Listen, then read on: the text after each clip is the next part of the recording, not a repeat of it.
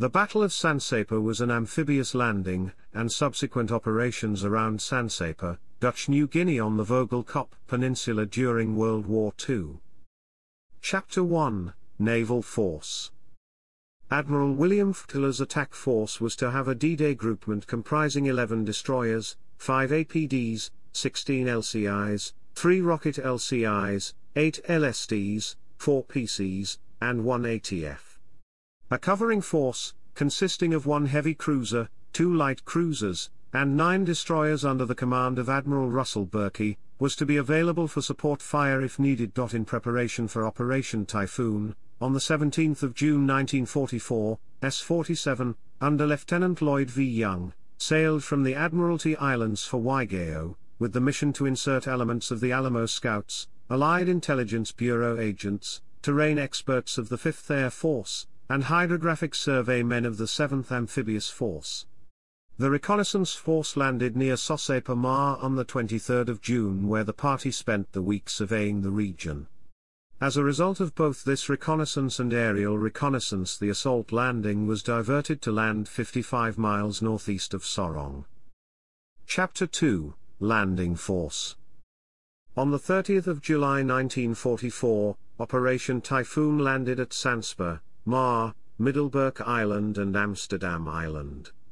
In charge of the Operation Typhoon ground forces was Major General Franklin C. Sibert, commanding general of the 6th Infantry Division.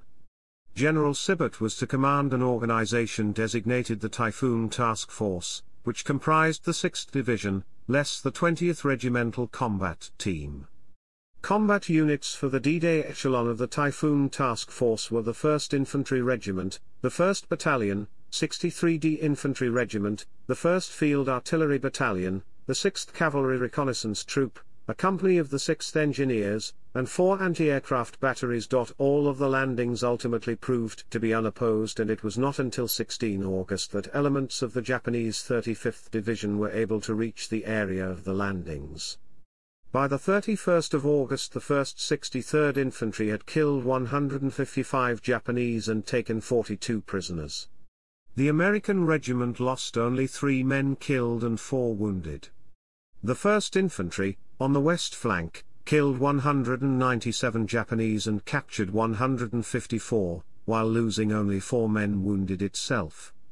The 6th Cavalry Reconnaissance Troop, during its series of far-flung patrols, killed 42 Japanese and captured 5 others. Total battle casualties for the Typhoon Task Force from 30 July through the 31st of August were 14 killed, 35 wounded, and 9 injured.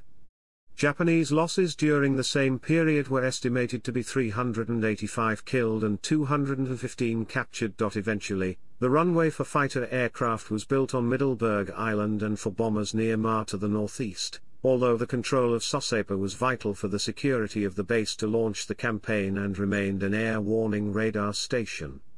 Ships patrolled this area of the coastline throughout the month-long campaign, keeping the Japanese at bay.